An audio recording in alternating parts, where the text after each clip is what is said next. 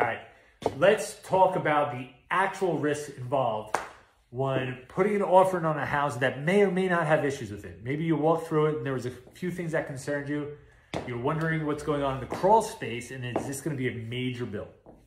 Uh, I understand if that could have you hesitant to make an offer, but it's a lot less risky than you might think.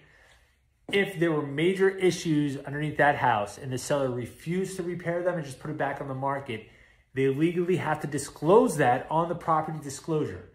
Every person who views the home has an opportunity to read the property disclosure before making an offer, and every offer they make will reflect what was disclosed on there. So, what would most likely happen is a seller would get frustrated maybe for a day or so, but it's not the buyer's fault that there's issues with the house. They often do what they have to do to sell their home.